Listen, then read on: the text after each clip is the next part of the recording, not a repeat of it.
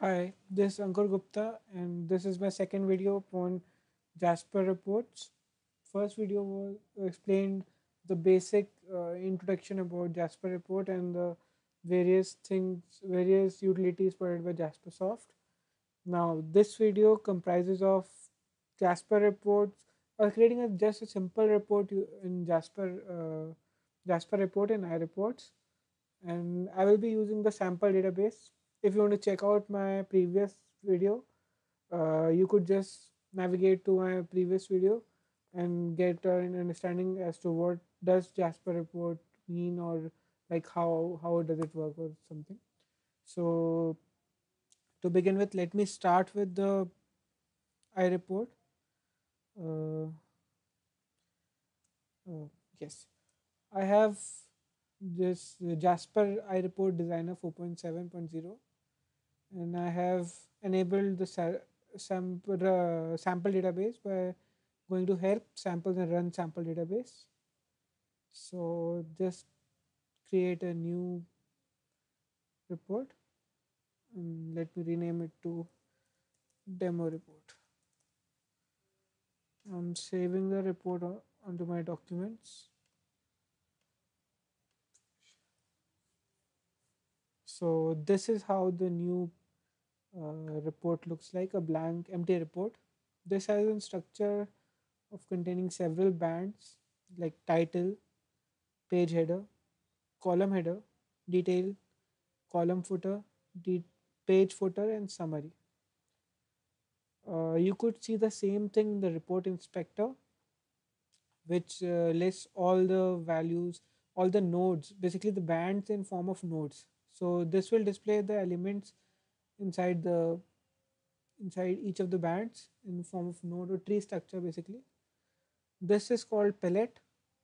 This is a palette with where wherein you could drag the you can drag the elements like break, eclipse, ellipse, image, list, spider chart, etc. and lots more tools and and this is the background properties. Properties basically whatever you click upon. This is the properties window. So you could arrange these windows according according to your uh, need and requirement. So uh, moving on to this designer. This is the designer perspective which you are viewing. As I've talked in the previous video, this report is created into form of an XML. XML, like you could see the all the report is written all here in XML. You could modify it from here also. The preview shows it into a into a iReport internal preview, or you could like from here export to a PDF or a number of things like wherever you want to export. This is an query report query. So this basically is a report query wherein we will key in our query. For that we need a database. So I have already enabled the sample database. Let me choose one. This is the data source. Uh, so I'm just using in the in this video I'm just using the sample database. Here I selected it. So let me just write the query. Select star from orders. This is a table which is already there. If you want to, if you want to view the view the value like in the database, you could just see the refresh preview data from here. So these are all the values over here. So see how you key in the values from here. Uh, this all the all the columns are listed as in as in fields. So I will do an OK. So let me just put a title. We could uh, like resize these uh, bands with these handles. So let me just drag a static text like to put in the title of the report. So this is in fact a demo report. So I double click on this element and just write demo report. So let me just center line and do it bold. Just increase the size a little bit so it's visible. So I drag it over here. Oops. Yes. So the query which key, we keyed in over here select star from orders. Now what we can do is like we could see the fields are listed over here. So whichever field you want, suppose I'm taking order ID, ship via, freight, ship city, ship region, and ship country. I have done this by holding control and clicking simultaneously. So let me just drag it into the detail band. Yes. Now iReport does this automatically. Like if we have placed this order ID over here, it will uh, put this header uh, correspondingly, the column header basically. So let me just minimize the mm, column footer might be uh, the sum of the the like interim things some of these uh, values. Column footer is like that. So for now we don't need it so we could just minimize it. Page footer in page footer i will just put this page number. So here is the page number. Uh, yes. So this is a page number. That's it. The report is done here. Let us preview it. So here is the preview.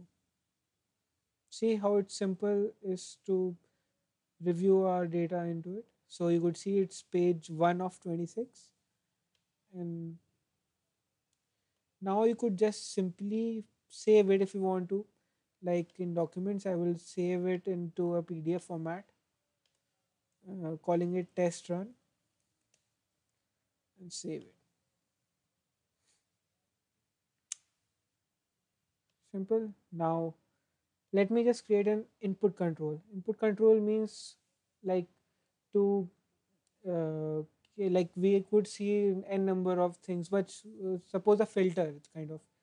So let me put a filter on ship via so let me create a parameter. You could right click on this parameter node and add parameter. Name it ship via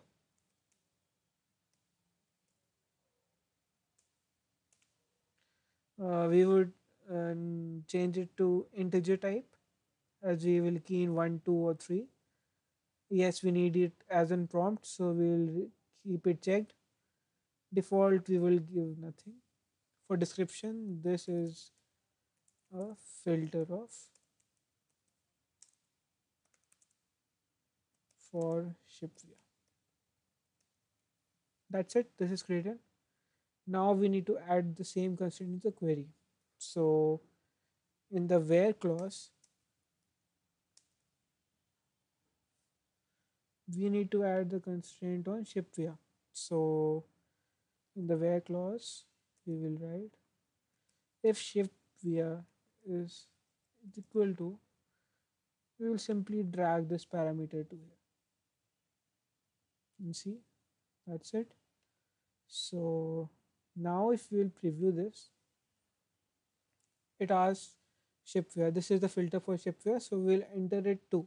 So we want whichever values whichever order the ship we have two number that should be displayed. So if we hit ok here we see all the orders which are shipped via 2 so this is as simple as putting this uh, the simple uh, logic putting into this this filters. So this filters could be a number of filters.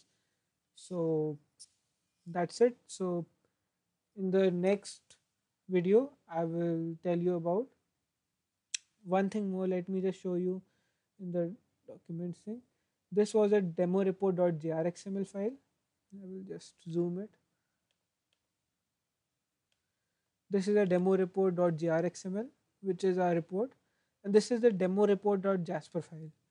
Now this is the the xml which has been compiled uh, the compiled form of the xml which is called the dot jasper file and this is the pdf we exported if you remember this is how it looks in the pdf so isn't it sweet like simply getting the values from the database and converting it into a pdf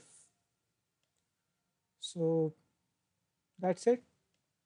Uh, thank you. If you like my video, you could follow me. My Twitter handle is Ankur underscore AUG. My Facebook profile, if you want to visit in there, and my blog, ankurthetechie.blogspot.in.